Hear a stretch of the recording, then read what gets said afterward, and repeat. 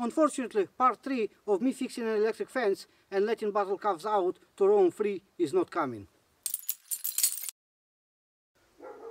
Because an idiot in me removed most of the footage. Let me explain. Usually, when I'm done filming, I will transfer files from the camera to computer right away. But this time, I forgot to do it. And so when the next time I had to film video again, I removed the video, not remembering that I don't have a copy of it. I still have some footage left, but not enough to actually make a full video. Still, let me give you an update on what happened since then. I did finish fixing the electric fence. It took way longer than I expected. Usually it takes me two to three hours and I'm done. This time it took almost five days.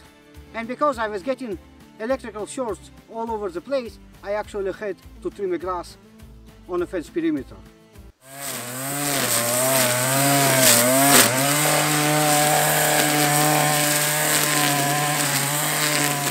Then I set the water outside for the bottle calves.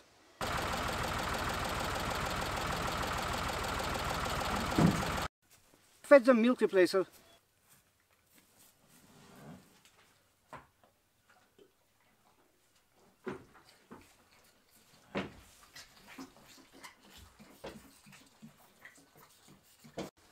and finally let them free.